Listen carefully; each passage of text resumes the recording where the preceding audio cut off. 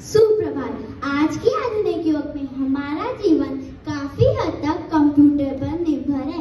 Computer के बिना जीवन के बारे में सोचना लगभग असंभव सा लगता है। इसलिए हमें कंप्यूटर को इंटेलिजेंट बनाना बहुत ज़रूरी है, ताकि हमारे जीवन आसान हो सके। क्या कभी आपने आर्टिफिशियल इंटेलिजेंस या एआई के बारे में सुना है? इसे हिंदी में कृत्रिम बुद्धिमत्ता कह सकते हैं मनुष्य ने अपनी बुद्धिमत्ता से नई तकनीक के द्वारा अपने जैसे बुद्धिमान कंप्यूटर बना लिए हैं।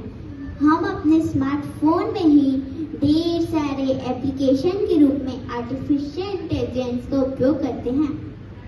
आर्टिफिशियल इंटेलिजेंस का एक शानदार उदाहरण स्मार्ट स्पीकर है, जैसे कि Amazon इको एलेक्सा या गूगल यह उपकरण हमारी आवाज़ सुनकर और उसे समझकर उसका उत्तर दे रहे हैं।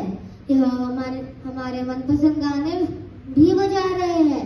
यह हमारे घर की बत्तियाँ और तापमान को नियंत्रित करने में मदद कर रहे हैं। लेकिन आर्टिफिशियल इंटेलिजेंस सिर्फ़ आकर्षक उपकरण बनाने के बारे में नहीं है। यह हर क्षेत्र में बड़ी बड़ी समस्याओं का हल करने में मदद कर रहे हैं। स्वास्थ्य सेवा के क्षेत्र में एआई का व्यापक उपयोग किया जा रहा है। नई दवाओं और उपचारों को विकसित करना और गंभीर बीमारियों को निम्न में सहायक सिद्ध करना।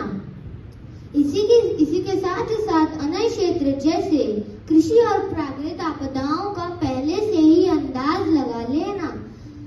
यह सम, यह हर समस्या का समाधान तीव्रता से करेगा। इस तेज़ी के साथ बदलती दुनिया के साथ आप और हम चल सके और डरे बिना इसका इस्तेमाल करना शुरू करें और अपना उससे दोस्त बनाए इंटेलिजेंस के साथ साथ एआई के इंटेलिजेंस के साथ एक बेहतर दुनिया बनाए। आखिर में तो सच यही है, मशीन जितनी भी स्मार्ट हो जाए, लेकिन एक सीमा के बाद मनुष्य के हाथ श्रेप की ज़रूरत ज़रूर होगी।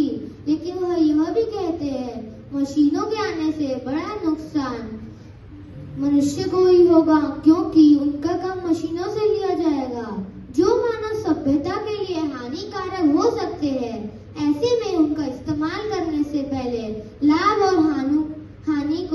संतुलित करने की आवश्यकता होगी। धन्यवाद।